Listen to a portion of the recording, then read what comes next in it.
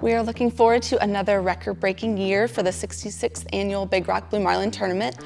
Dates are June 7th through the 16th.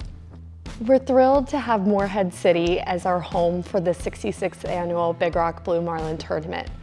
Over the last 66 years, the tournament has grown from a small event that was founded by local fishermen right here on the waterfront to a world-renowned sport fishing event that anglers from all around the world attend. We are grateful and appreciative of everyone at the town of Morehead City. Um, getting to work with them is awesome and we're looking forward to another fun year for everyone. I think the biggest thing about this year's tournament is going to be the Fabulous Fisherman rollover money. We have about $735,000 that's going to be rolling over into level five.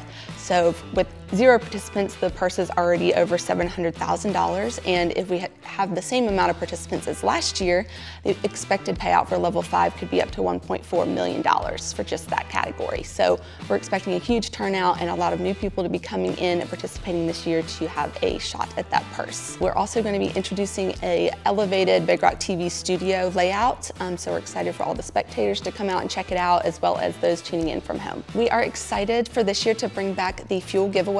So to celebrate the 66th annual tournament, the Morehead City Gulf Docks will be collaborating with us to give away a $6,600 fuel giveaway to a lucky winner that we will draw on Wednesday at noon on Big Rock TV and Big Rock Radio. The fourth annual Big Rock Kids Billfish Tournament is set for July 10th through 13th this year is the 27th annual Kelly Wagner Lady Angler Tournament. We are so excited and aiming for another record-breaking turnout for the ladies event. Last year we had 266 boats and the ladies showed up and showed out. It was an amazing day, lots of billfish were released and we're anticipating even more numbers piggybacking off of Big Rock's success. Also for the Big Rock Kids tournament this July, we're anticipating even more boats due to the number of billfish that were released last year.